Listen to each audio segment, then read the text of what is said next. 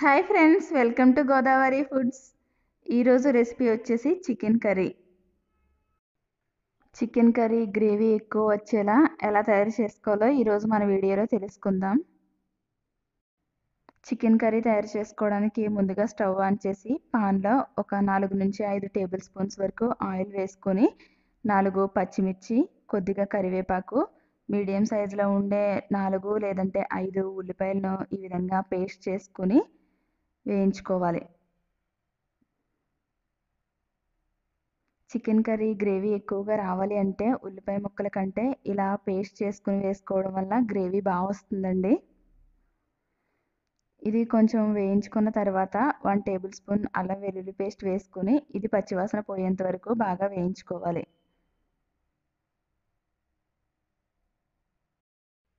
అల్లం వెల్లుల్లి పేస్ట్ పచ్చివాసన పోయిన తర్వాత దీనిలో మనం చికెన్ యాడ్ చేసుకోవాలి. చికెన్ వేసుకున్న తర్వాత ఒకసారి కలుపుకొని దీనిలో వన్ టేబుల్ స్పూన్ ధనియాల పొడి హాఫ్ టేబుల్ స్పూన్ జీలకర్ర పొడి రెండు టేబుల్ స్పూన్స్ కారం రుచికి సరిపడా ఉప్పు వేసుకొని చికెన్లో ఉండే వాటర్ మొత్తం ఎగిరిపోయేంత వరకు బాగా ఉడికించుకోవాలి.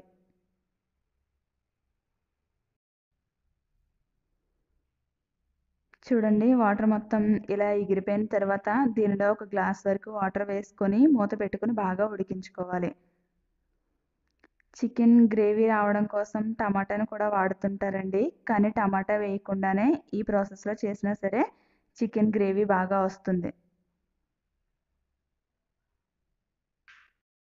వాటర్ యాడ్ చేసుకున్న తర్వాత హై ఫ్లేమ్లో ఐదు నిమిషాలు ఉడికించుకున్న తర్వాత ఒకసారి సాల్ట్ చెక్ చేసుకుని దానిలో one teaspoon garam masala పొడి వన్ టీ స్పూన్ చికెన్ మసాలాను అలాగే కొద్దిగా కొత్తిమీర పుదీనాను యాడ్ చేసుకొని బాగా కలుపుకొని మూత పెట్టుకుని లో ఫ్లేమ్లో ఒక పదిహేను నిమిషాల పాటు దగ్గర పడేంత వరకు ఉడికించుకోవాలి. పదిహేను నిమిషాల తర్వాత మూత తీసి చూద్దామండి. చూడండి కర్రీ చాలా దగ్గర పడింది కదా.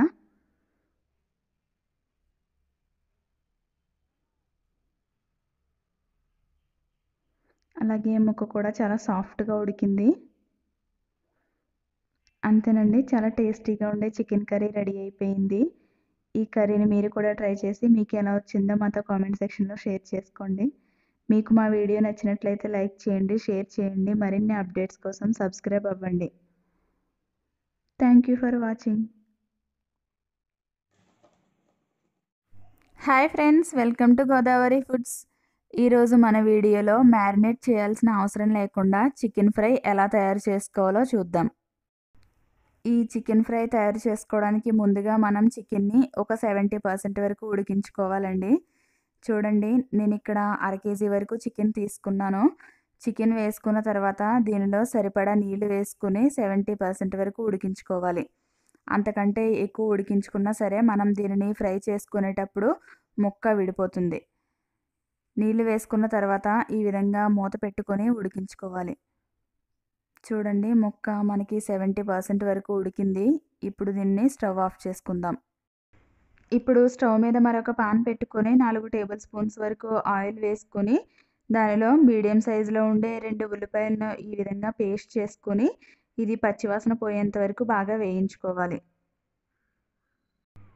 ఈ ఆనియన్ పేస్ట్ పచ్చివాసన పోయిన తర్వాత దీనిలో వన్ టేబుల్ స్పూన్ వరకు అల్లం వెల్లుల్లి పేస్ట్ వేసుకొని ఇది కూడా పచ్చివాసన పోయేంత వరకు బాగా వేయించుకోవాలి. అల్లం వెల్లుల్లి పేస్ట్ పచ్చివాసన పోయిన తర్వాత దీనిలో మనం ముందుగా ఉడికించి పక్కన పెట్టుకున్న చికెన్ను యాడ్ చేసుకోవాలి. ఈ విధంగా మనం చికెన్ యాడ్ చేసుకున్న తర్వాత ఇదంతా కలిసేలా ఒకసారి కలుపుకున్న తర్వాత దీనిలో మనం వన్ టీ స్పూన్ ధనియాల పొడి one teaspoon chicken masala half teaspoon garam masala పొడి వన్ టేబుల్ స్పూన్ కారం రుచికి సరిపడా ఉప్పు వేసుకుని ఇదంతా కూడా కలిసేలా బాగా కలుపుకోవాలి. ఈ మసాలా ఇంగ్రీడియంట్స్ మొత్తం చికెన్కి పట్టేలా బాగా కలుపుకోవాలి. ఇలా మొత్తం అంతా కలిసేలా కలుపుకున్న తర్వాత మూత పెట్టుకుని ఉడికించుకోవాలి. మనం మధ్య మధ్యలో మూత తీస్తూ కలుపుకుంటూ కుక్ చేసుకోవాలి. లేదంటే అడుగు అంటిపోతుందండి. ఇలా మూత పెట్టుకొని పది నిమిషాలు ఉడికించుకున్న తర్వాత దీనిలో చికెన్ ఉడికించుకున్న వాటర్ని ఫోర్ టేబుల్ స్పూన్స్ వరకు యాడ్ చేసుకోవాలి. ఈ వాటర్ అంతా కూడా ఇలా దగ్గర పడిపోయిన తర్వాత దీనిలో మనం కట్ చేసుకున్న పచ్చిమిర్చి కొద్దిగా కరివేపాకు పుదీనాను వేసుకొని మూత పెట్టుకోవాలి. ఇలా పుదీనాను వేసుకున్న తర్వాత మూత పెట్టి కుక్ చేసుకోవడం వల్ల చికెన్కి మంచి ఫ్లేవర్ వస్తుందండి. ఫ్రై కూడా మనకి చాలా చాలా టేస్ట్గా ఉంటుంది. ఇలా మూత పెట్టుకుని ఐదు నిమిషాల పాటు లో ఫ్లేమ్లో కుక్ చేసుకోవాలి. ఇలా ఐదు నిమిషాల పాటు కుక్ చేసుకున్న తర్వాత లాస్ట్లో మనం కొద్దిగా కొత్తిమీరని యాడ్ చేసుకొని మరొకసారి కలుపుకొని స్టవ్ ఆఫ్ చేసుకుంటే సరిపోతుందండి.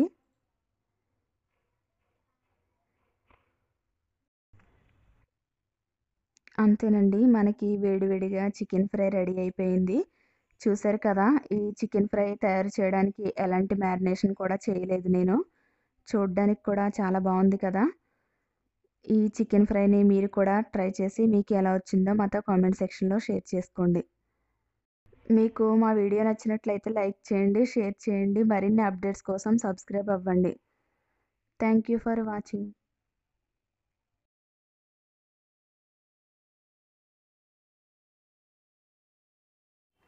Hi friends welcome to Godavari foods. ఈరోజు మన వీడియోలో స్ట్రీట్ స్టైల్లో తవా చికెన్ ఎలా తయారు చేయాలో తెలుసుకుందాం. మరి ఈ తవా చికెన్ తయారు చేయడానికి ముందుగా స్టవ్ మీద పాన్ పెట్టుకుని నాలుగు టేబుల్ స్పూన్స్ వరకు ఆయిల్ని వేసుకుని ఆయిల్ కొంచెం హీట్ అయిన తర్వాత ఒక టీ స్పూన్ వరకు అల్లం ఇలా చిన్న ముక్కలుగా కట్ చేసుకుని అలాగే ఒక టీ స్పూన్ వెల్లుల్లి కూడా చిన్న ముక్కలుగా కట్ చేసుకుని వేయించుకోవాలి. ఇది కొంచెం పచ్చివాసన పోయేంత వరకు వేయించుకోవాలి. అల్లం వెల్లుల్లి ఈ విధంగా వేయించుకున్న తర్వాత చికెన్ ముక్కలను కూడా యాడ్ చేసుకుని వీటిని కూడా బాగా వేయించుకోవాలి.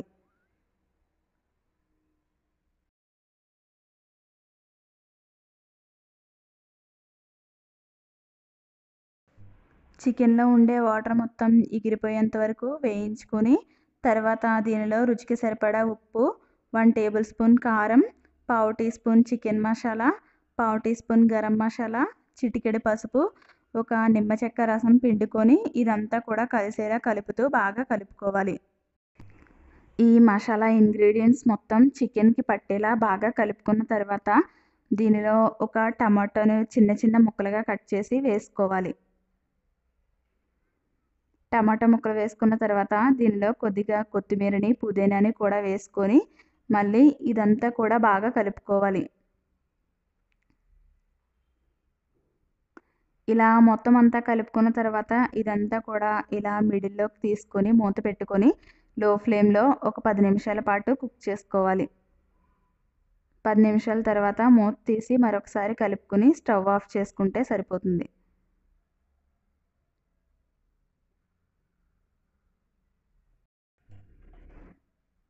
అంతేనండి చాలా ఈజీగా street style tawa chicken ready అయిపోయింది.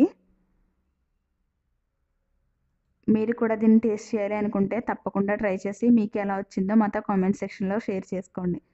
మీకు మా వీడియో నచ్చినట్లయితే లైక్ చేయండి షేర్ చేయండి. మరిన్ని అప్డేట్స్ కోసం సబ్స్క్రైబ్ అవ్వండి. Thank you for watching.